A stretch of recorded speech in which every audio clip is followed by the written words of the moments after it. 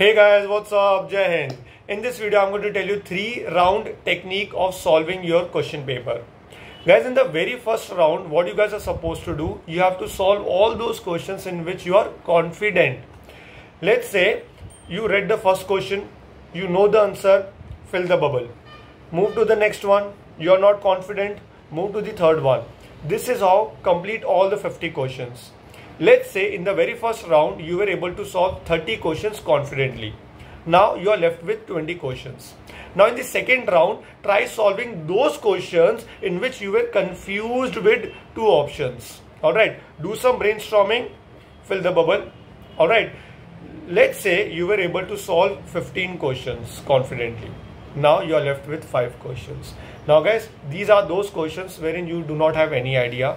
Alright, do some brainstorming fill the bubble and this is how you will be able to save your time and solve all the questions. All the very best